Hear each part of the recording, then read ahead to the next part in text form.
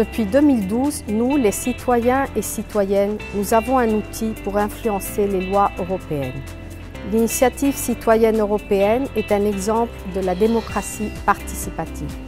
Un million de signatures dans sept États membres permet de faire la différence et de s'adresser directement aux institutions européennes.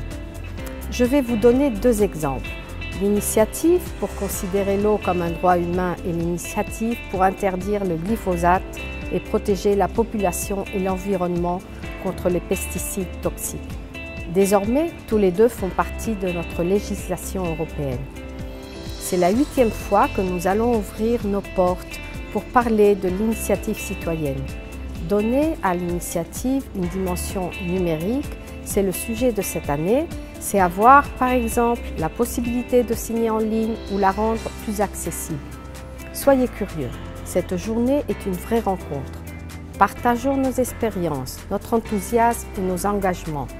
Venez nombreux le 2 avril au Comité économique et social européen à Bruxelles.